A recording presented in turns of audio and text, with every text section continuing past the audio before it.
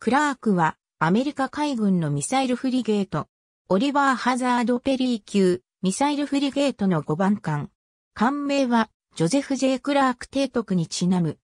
クラークは1976年2月27日に FI76 プログラムの一部としてメイン州のバス鉄工所に建造発注され、1978年7月17日に寄港する。1979年3月24日に浸水し、1980年5月9日に収益した。クラークは2000年3月15日に退役し、同日除籍の上、ポーランド海軍に移管された。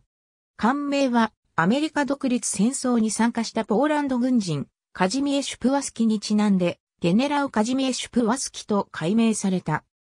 2008年8月、ゲネラウ・カジミエ・シュプワスキは、ドイツ海軍のブレーメン級リューベック、スペイン海軍のアルバロ・デバ3級、アルミランテ・ファンデ・ボルボーン、アメリカ海軍の OH ペリー級テーラーの NATO、所属艦艇と共に、国海での演習のために、ボスポラス海峡を通過した。これらは2007年10月時点で、すでに予定されていた演習だが、南オセチア紛争の当事者であるロシアが情勢への影響に対して懸念を表明した。